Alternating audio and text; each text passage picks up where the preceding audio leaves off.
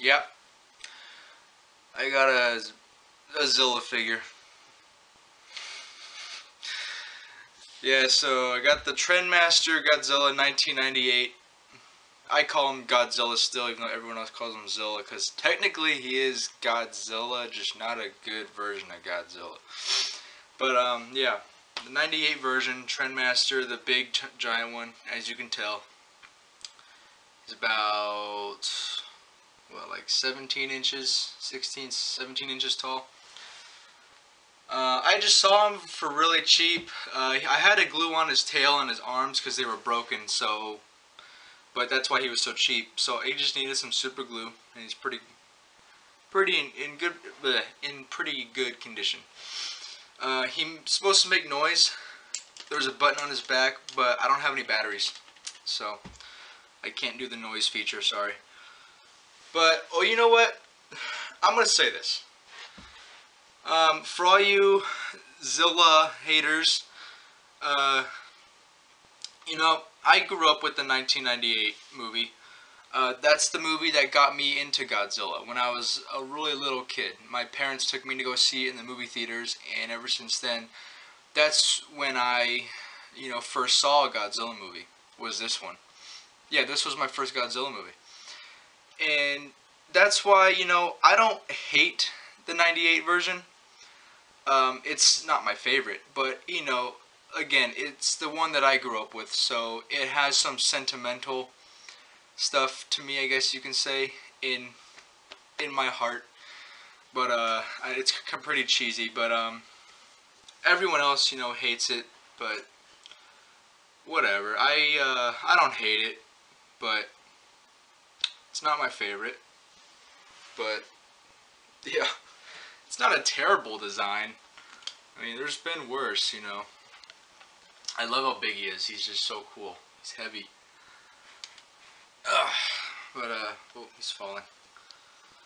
But yeah, he's got, um, his legs, you know, can move. You can move those. His tail is supposed to twist, but I had to glue it on so it, it can't move. And his arms, they're supposed to rotate, but I had to glue them because they wouldn't stay. So he's got no articulation in his arms or his tail for me, but brand new, he his tail, arms, and legs do articulate. So, yeah.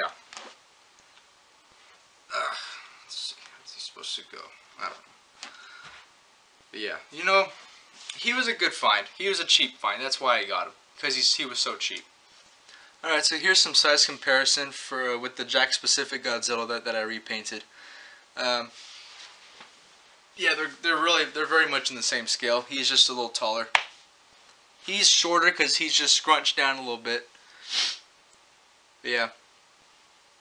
That's kind of the only figure that's worthy of uh, size comparison, I guess. Yeah, so that's kind of all I have to say. Um, I'm not going to do a review or anything. I just wanted to show you my new figure. It's a new one to the collection. For those of you who don't know, I'm collecting at least one um, I say one incarnation of Godzilla from throughout the years. I'm not going to buy a whole bunch of the same one. I just want one incarnation of each year. And now I have a 98 figure. If you're if you're a 98 Godzilla hater, uh, you know what? That that's cool. I don't blame you because a lot of people hate him, and you know he doesn't really look like a Godzilla that we all know, but what can you do? He's not a bad figure. He is actually really cool. One, just his size, and two, he is very detailed. So, yeah. But that's pretty much it. Thanks for watching. Um, I got, let's see, I got a stop motion video on the way. So, uh, for those of you who keep asking, there is a stop motion video coming. So, and join me on Halo. I played with a few of my subscribers on Halo on Xbox Live on uh, Halo 5. So yeah, join me. Username Tony Champagne. Anyways, thanks for watching. I hope you enjoyed. I really hope you enjoyed, even though it's Zilla. But yeah, keep rocking.